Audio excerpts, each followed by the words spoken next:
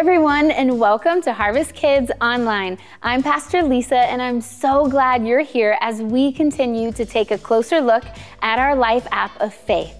Faith is trusting in what you can't see because of what you can see. Maybe it seems strange to trust in something you can't see, but actually, we do it all the time. Let me show you. Everyone, stand up right now wherever you are. Go ahead, stand up to your feet. Okay, awesome. Now, on the count of three, I need everyone to jump at the same exact time. Ready? One, two, three, jump! Great job. All right, you can have a seat now. Let me ask you something. When you jumped just now, did anyone keep going and float through space without coming back down to the ground? No, of course not. We can trust that gravity will keep us on the ground. We can't see gravity, but we sure would notice if people started randomly floating in the air, wouldn't we? Having faith in God is kind of like that too. Maybe we can't see God with our eyes, but when we focus on the things that He's done in our lives and in the lives of other people, that can help us put our trust in Him and see things from a whole new perspective. And in just a few minutes, we'll learn about how one of Jesus' disciples named Peter learns to see things and, most importantly, people from a whole new perspective, too. But before we do that, let's stand to our feet one more time and worship the Lord together this morning.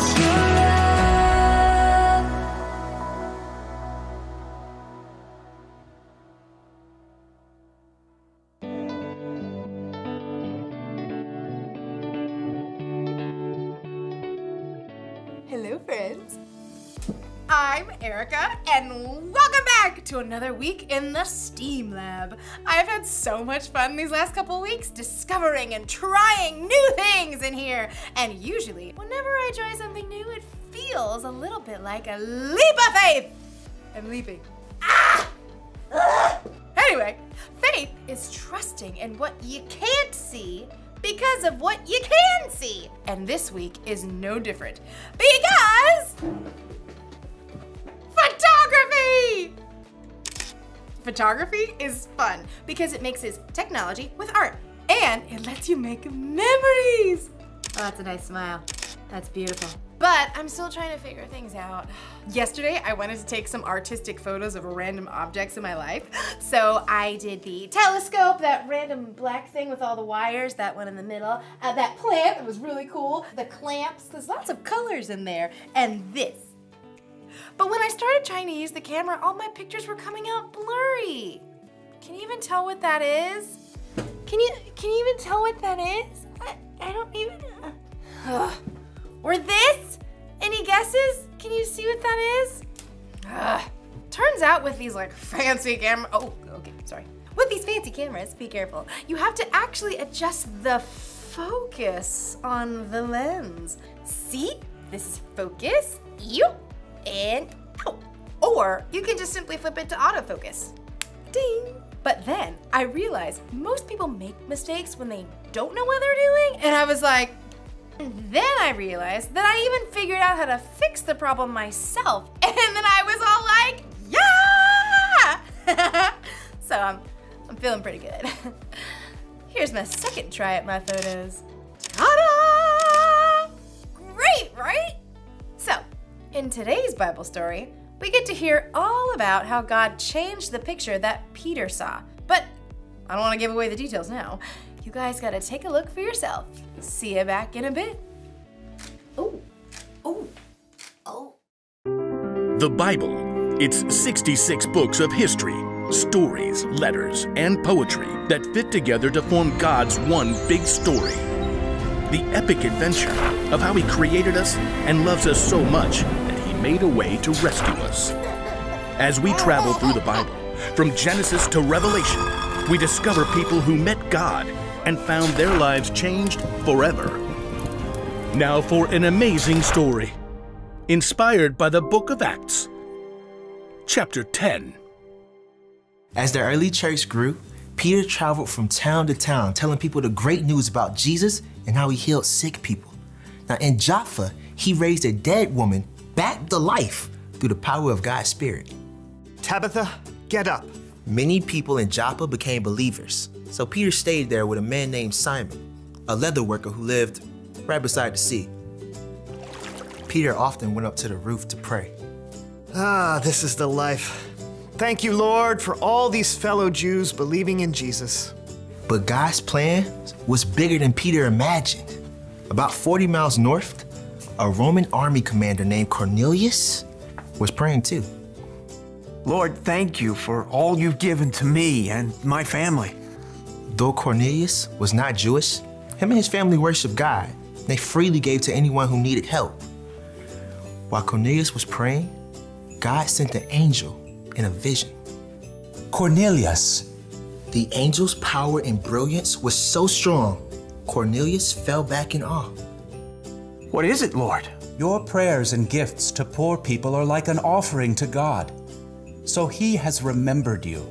Now send men to Joppa. Have them bring back a man named Peter. He is staying with Simon by the sea. Yes, Lord. The angel vanished. Then Cornelius leapt from his feet. He called on two of his servants and a trusted soldier and told them everything. Leave at once for Joppa. Sir, yes, sir. The trio left around 3 o'clock, marching at top speed. Around noon the next day, they neared Joppa. At Simon's home, Peter had climbed up the roof to pray. Lord, you've done amazing things here in Joppa. What's next? Hmm, Lunch is next, I guess. While lunch was being prepared, Peter continued to pray. And God sent him a vision, but it wasn't an angel. What is happening? It appeared to Peter that something like a large sheet was dropping from heaven. It contained a zoo of animals pigs and camels, rabbits and birds and reptiles. Get up, Peter. Kill and eat. Peter stared in shock. The Jews were forbidden to eat the meats of these animals, which were called unclean. No, Lord, I will not. I have never eaten anything that is not pure and clean. Do not say anything is not pure that God has made clean. Two more times, the same thing happened. Then the sheet was taken back up to heaven. Peter blinked and looked around. What does it all mean? At that very moment, the men sent by Cornelius arrived at Simon's front door. Is there a Peter staying here? Up on the roof, God's Spirit spoke to Peter. Three men are looking for you. Get up and go downstairs. Don't let anything keep you from going with them. I have sent them. Still, overwhelmed by his vision, Peter hurried down the steps, right out the front door, where he found the men. I'm the one you're looking for. Why have you come? Sir, we have come from Cornelius, the Roman commander. He's a good man who worships God. The angel told him to invite you to his house so Cornelius can hear what you have to say. Go to his house? Just as it was forbidden for Jews to eat certain foods, it was also forbidden for Jews to enter the home of non Jews. Oh! In that moment, Peter understood his vision. God was making a new rule about what was clean.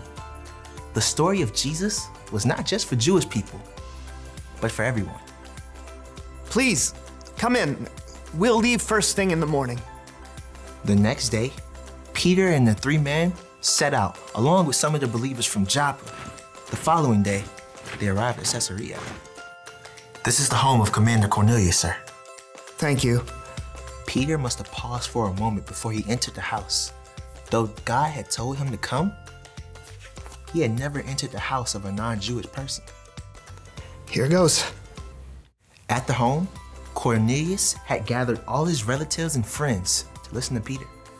Greetings, Peter. We are honored you've come. The commander lowered himself before Peter, showing a sign of deep respect. Stand up. I am only a man myself.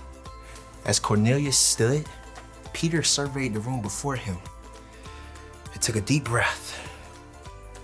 You know that it is against our law for a Jew to enter the home of someone who isn't a Jew, but, but God has shown me that I should not say anyone is not pure and clean. May I ask why you sent for me? Cornelius had explained everything the angel had told him, and Peter shared how God sent Jesus here to share God's love, how Jesus taught and heal people through God's power. Then he would be killed. But then God would raise him back to life again. We ate and drank with him after he rose from the dead. He commanded us to preach to the people. All who believe in Jesus have their sins forgiven through his name. Amen. Praise Jesus! Glory to God! Before Peter could finish speaking, God sent his Holy Spirit down to be with Cornelius and his family and friends. The Jewish believers who came with Peter, they stared in amazement. But they're not Jews. Surely no one can keep these people from being baptized with water. They have received the Holy Spirit just as we have. Peter baptized Cornelius and his friends and family in the name of Jesus. He stayed with them for several days, overjoyed by the new perspective God had given him.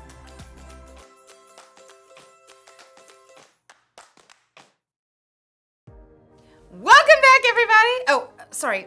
Hold on.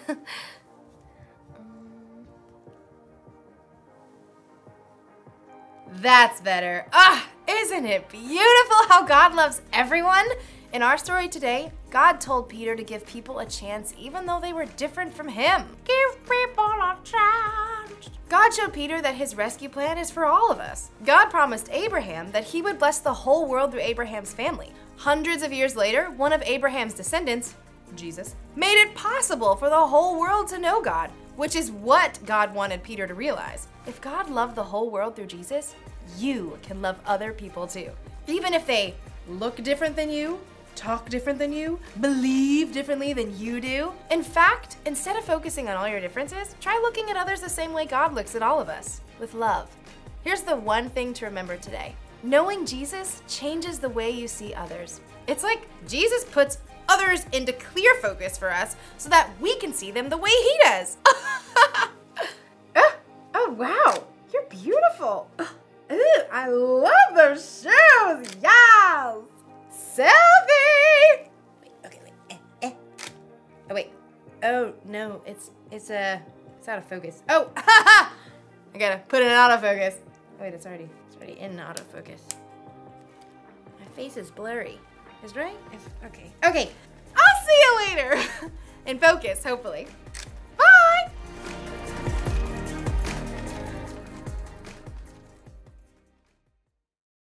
Through a vision, God told Peter that the message of Jesus wasn't just for Jewish people, it was for everyone.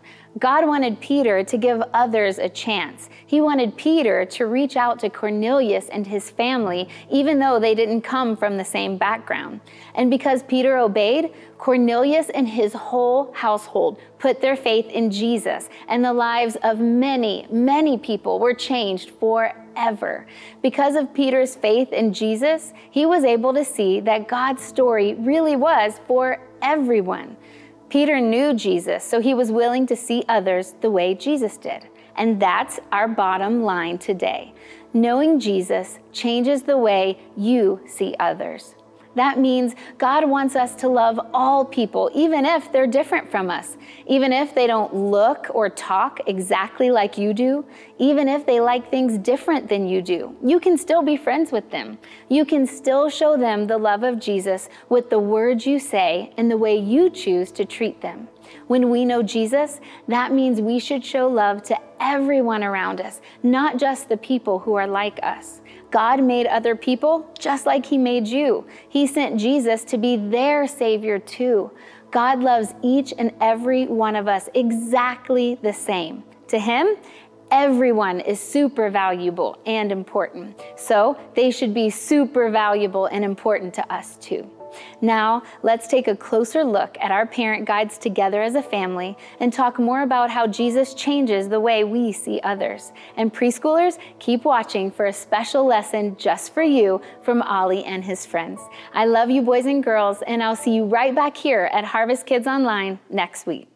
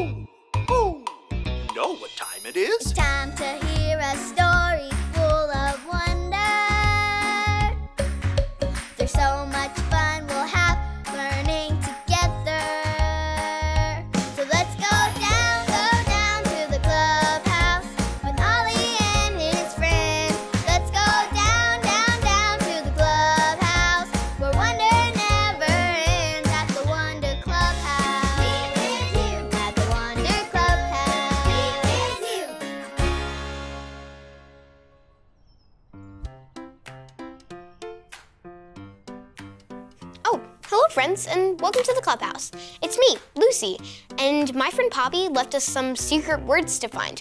All I have to do is paint this page. See? I think there's a secret word on here somewhere. Let's keep painting.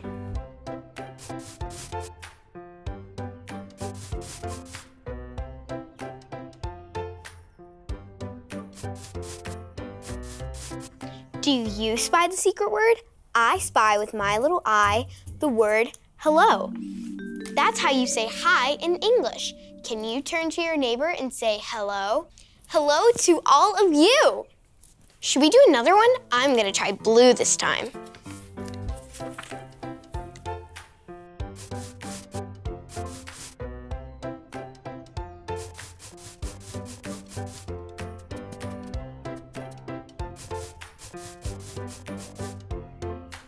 Do you spy the new secret word? I spy with my little eye the word hola. That's hello in Spanish. Can you say hola with me? Hola. Now turn to your neighbor and say hola. Yes, I love it. You just said hello in two different languages. Wow. Hoo, hoo. It's Ollie. Hola, Lucy. Hoo, hoo. Telling each other hello, are you? Poppy left us these fun different ways to greet each other. Saying hello is fun. Hoo, hoo. But there's so much more to tell others too. So let's hear the story. Just follow me through. Hoo, hoo. Follow me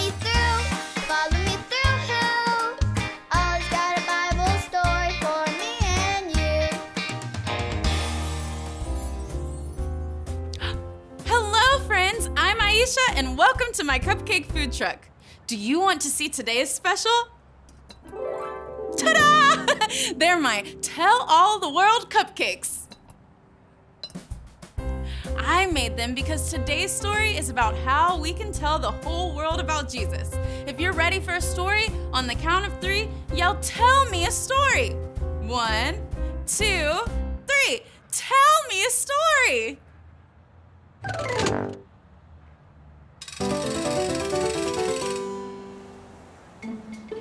Today we are going to play I Spy to find a man named Peter. Do you see him? Get out your pretend binoculars. Look with me. Ready? I spy with my little eye. Peter! Peter was a fisherman. That means he would get in a boat and go out on a lake to catch fish. Peter believed in Jesus because Peter saw that Jesus is alive with his very own eyes. Jesus told Peter and his other friends that he would come back again, but until then, he wanted them to tell everyone that Jesus is alive. And he wants to be their friends forever. Then he left and went to heaven. Jesus' friends did just what he told them to do. They told everyone, everywhere, Jesus is alive. He wants to be your friend forever. One day, some men who were different than Peter came and knocked on his door. Knock with me. Ready? Knock, knock, knock. They asked Peter to come to their house and tell all their friends about Jesus. Peter knew that Jesus loves everyone, no matter what they look like, or what language they speak, or where they live, or what they have done. So, Peter said he would go to their house even though they were different than him. Do you see someone that Peter can tell about Jesus? Look with me. Ready? I spy with my little eye someone Peter can tell about Jesus.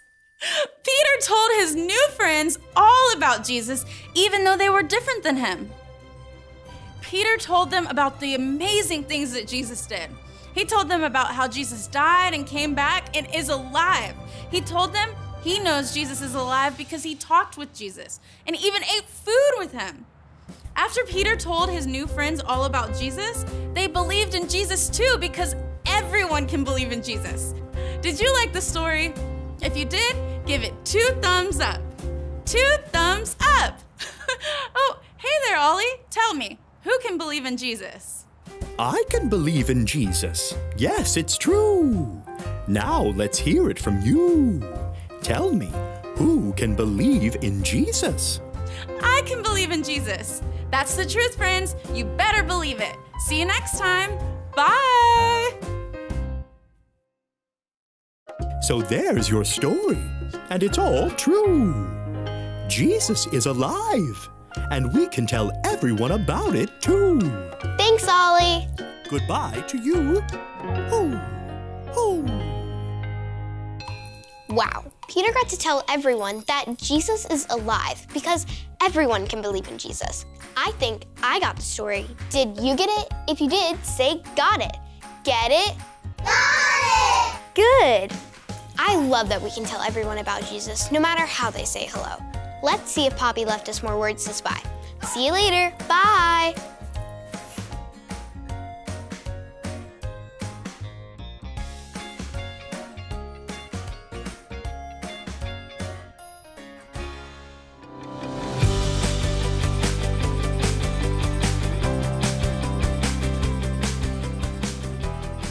Written so that you may believe that Jesus is the Christ, the Son of God. John 20, 31. These are written so that you may believe that Jesus is the Christ, the Son of God. John 20, 31.